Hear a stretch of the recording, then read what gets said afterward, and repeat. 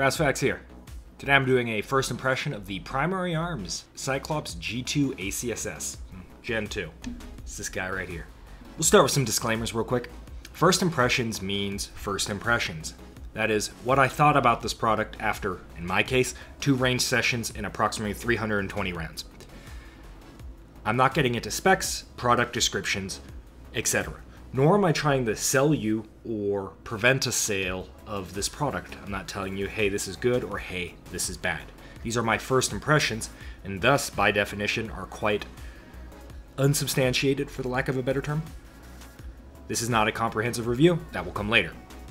So, why am I doing this? For the views! Now, uh, well, a little bit, but a first look lets me vocalize what I think about the optic when initially trying it out. It allows me to form hypotheses and allows me to kind of direct the direction the review will take from the onset. So this is what I would do normally, but I'm doing it for a video, right? Uh, a good example of this would be with the primary arms 1 to 6x, which I'm reviewing currently. A big question I had right out of the gate was how does this perform at range? So I did a lot of ranged testing with it, and that helped guide the review and kind of the objectives of the review. Because if you don't do this, you kind of just end up with a wishy-washy review and you, more than often you will miss a lot of key factors because you do have to focus on a review. Uh, a second reason I'm doing this video on this guy specifically is because it's basically brand new and very few people have their hands on this right now. Right? Currently out of stock and it's hard to get. However, a lot of people are interested in this product. Issue is a lot of people have rushed to get out their reviews. While there are a lot of reviews out there that are of decent quality, where they've done their due diligence, there are a lot of first impressions packaged as review. So they're trying to, you know, sell you or not sell you the product, but the information is lacking and they're essentially just reading what's on the box and touting that as experienced information. And some of this stuff is just simply not true. Thus, uh, I'm second part of this video is me discussing some of the misconceptions about this optic and kind of clearing that up. To be sure, my video here is not a review. I'm not trying to sell you on this product, nor am I trying to dissuade you from this product. I'm just simply trying to clear up some information that seems to be kind of a large misconception around this product when I was looking around at other smaller reviews. First thing, as I mentioned, what are my first impressions out of this thing? How am I going to tackle this review? Out of the gate, this thing is quite impressive for a prism scope. Everyone that's looked through this thing was like, dang, this is kind of cool. It's very close to a red dot. That being said, is it as good as a red dot? That's the big question, right? Yes, no, I don't know yet. This is a hard optic to review because there's basically two facets. Do I review this as an independent optic without considering that red dots exist, or do I review it in comparison with a standard red dot in this price range and kind of compare it to that. A big part of that is A, do you have astigmatism so bad that you can't use a red dot? If that's the case, then this gets a lot of points for you. However, if you have mild, like me, or no astigmatism, then I feel like you have to compare this to a red dot. So this might be a two in one review in that regard. Initial impressions for me, with some astigmatism, is that a red dot is still better. This being a what appears to be an impressive prism doesn't mean it still is not competing with a red dot. It is for most people. There are very, very few people with astigmatism so bad that uh, they can't use one of these. Don't get me wrong, there are other reasons to get a prism optic, but the astigmatism is probably the biggest reason, especially because prisms do have downsides. Uh, one, the, the, probably the best thing I noticed with this optic is that having a chevron style aiming point versus a overlaid dot, right? Because you zero to the center of the dot typically. With a prism or with a chevron, you aim to the top of the tip, just the tip. It just aim, makes for a finer aiming point, which is really nice at either long range or when I was shooting this, aiming at small targets at intermediate ranges. So about 75 yards, I was aiming at a uh, two inch swinger, and that's a tough shot. And the point aiming point instead of the dot overlay method uh, made for a much easier time, so to speak. Because I actually did that course of fire with this, and then with an AR with a RMR on top, and the RMR, I felt the need to dial it down or switch to the ACOG. But I was training with the RMR, so I only used the RMR. However, everywhere else, this thing kind of felt like it fell short. Emphasis on a little bit short, not like majorly so. I didn't really find myself wanting, I just noticed kind of in retrospect, huh, that was a little worse. So, once again, first impressions, really important disclaimer. How did it for me, fall short of a red dot when I was messing with it. This gets into that second part I was talking about earlier uh, misconceptions with a lot of reviews that kind of get spread around. First up, night vision compatibility. Is this night vision compatible? Yes and no. The illumination, which is adjusted on the side, is night vision compatible in the sense it won't blow out your night vision, right? However, due to the focal setup of this thing, if you look at this, you know, you're looking around with your night vision and then go to aim with this optic instantly, you bring the gun up, this will be blurry. You will not be able to see anything.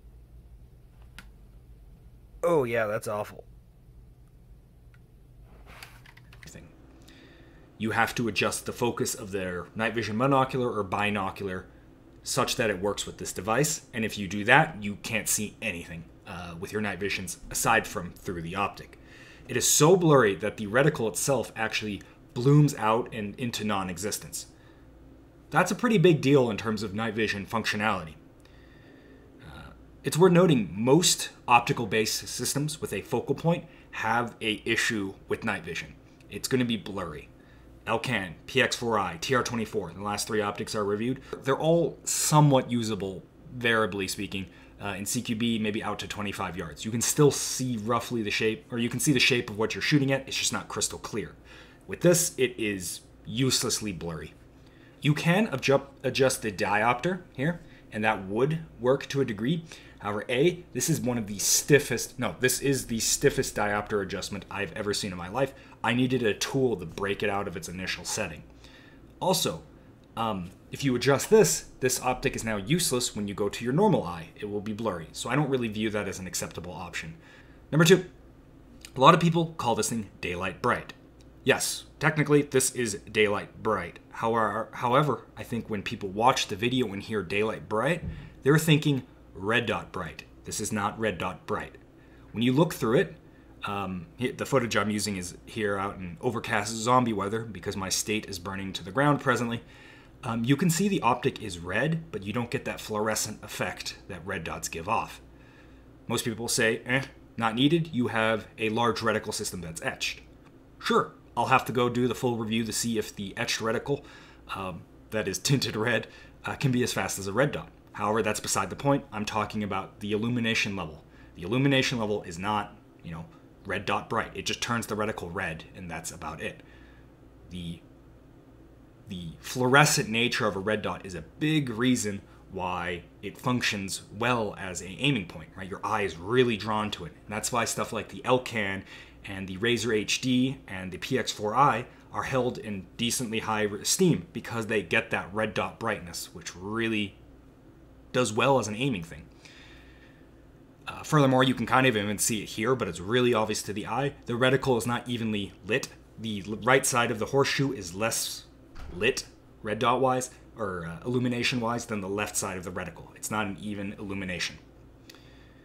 I'll state this though, in a home defense environment, this barely ekes by that it's the illumination is strong enough that you can overpower your gajillion lumen flashlight uh, in a dark environment and still see your reticle well, right? Next up, uh, something mentioned a lot is red dot like parallax. Uh, as you can see in the footage, I can hit out to a target uh, 50 yards while aggressively moving the parallax back and forth, that is shifting my head uh, around. However, the notion that this has a red dot like eye box is incorrect. Forward and back is obscene. This thing gives scout scopes a run for their money. You could mount this on an AK gas block, I'm sure, and actually use it. However, left to right is. It's okay. It's better than basically all LPVOs, but you don't have a magnified setting on this. And it's obviously worse than a red dot. You can't pin the reticle to the left or the right or up or down uh, without getting some scope shadow over your reticle, and you kind of have to guess what you're shooting at. So that is not good. That being said, this is pretty close to a red dot, the best I've seen so far, and definitely better than any LPVO. So that's the least of my concern in that regard.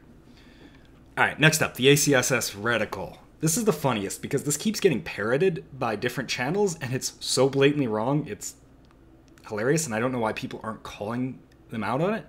A lot of people think because this is called the ACSS, it's functionally identical to the primary arms 1 to 6 ACSS reticle, you know, the one that is very popular, right? And there are literally two videos, I'm not going to call them out, say blatantly outright, and some that imply it, but two that say it outright, that the subtensions over here are engaging, right? They're the subtension marks, like a BC, uh, a ballistic drop compensator. And they say in no uncertain terms that they use this to hit out to 300 yards. No, they did not use these to hit out to 300 yards. These are not subtensions.